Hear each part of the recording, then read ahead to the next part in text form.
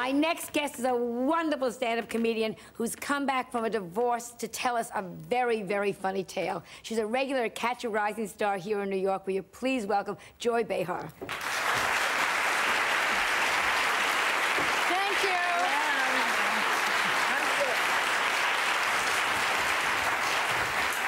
And I was reading the notes about your life because we never really talked together. And I thought I had a lot of jobs and strange jobs on the way up. But I know. uh, well, you slept in your car. I never I did that. I slept in my car. yeah, but uh, I know I used to work for Good Morning America.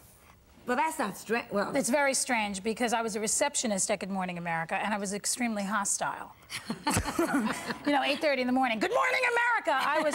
I didn't last there very long. I was fired, and uh, for good reason. why did they? Fire me? Yeah. Well, because I don't think I was into the job. I mean, you know, we would have fun. I'd have all the women at my desk at 3 o'clock in the afternoon. We'd, we'd call it lesbian hour. And that was, you know, they didn't go for it. So Were you married or single at the time? I was married at the time. I was like, you know, working through stuff. And then I got a divorce. And I got fired at the same time. And then I became a stand up comedian. so you weren't a stand-up. It's a logical prog- progression, isn't it? You weren't a stand-up till then. Well, not really. I would like get on stage and be petrified and then not go on for another year. I was terrified of it. It's so scary, you know. How long were you married? Oh, 15 years. So what's it like being single? I love it. Don't you like being single now? Not at this age. No, I do. I like it. Well, because you have a chance. Well, not. Yes, I do. I guess. You know, yeah. But on. I don't want to get married again because I, I don't particularly care for it. I like having a man in my life, but not in my house. I don't want him in the house. I don't know what to do with them. I'm on the phone all day long. I, I have things to do. You know, I have to put Nair on my upper lip. I'm a very busy woman. Do you ever put nair on your thighs? oh yeah. Well, I'm Italian, sure. And then you you get the phone. The phone rings. You just put it on all, both legs. It's not a pretty sight, is it? And then the phone rings. You got to go like. Do you work out? Because you look very firm under there. Ah, well, you- you've never seen me naked, Joan. Although you've begged me many times, but no, uh, no, I, um, I'm not really that firm. No, I don't work out. I don't do anything. I, you know, I'm gonna. I've been thinking of getting the plastic surgery. The only one that I would actually get, though, because I'm scared of everything. You've had a few things. Oh, tell me. Yeah. I have a whole other me in California.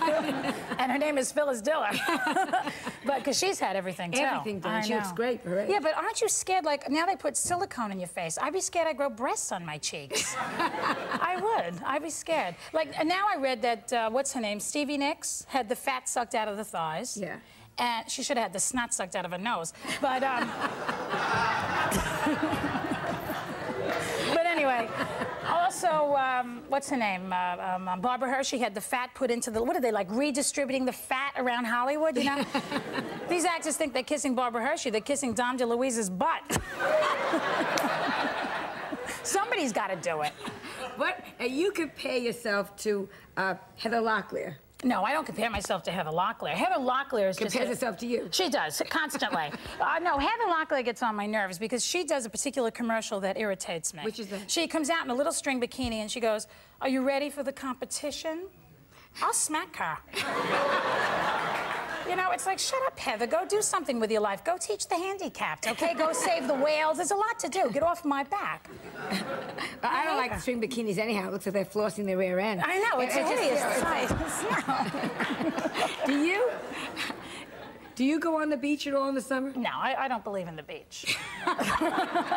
There's no ozone layer, you know, Yeah. and and, and the, the, the water has garbage in it. So what's the point? No, I don't. I don't want to go near a beach. I'm just going to stay fat. Now we have Barbara Bush in the White House, and we can all be fat. This is how I say it. it's who you compare yourself to. Don't you feel you could gain weight now? Oh, thank God. What about with Nancy Reagan? Well, she was anorexic. No, that was pathetic. no, I can't. Barbara, this is the one thing about George Bush that I like that most men just unconsciously want to marry their mothers. He actually did. it's really, it's a Freudian victory. will you, will you please come back anytime you want to, and we'll just dish. We'll ditch, darling.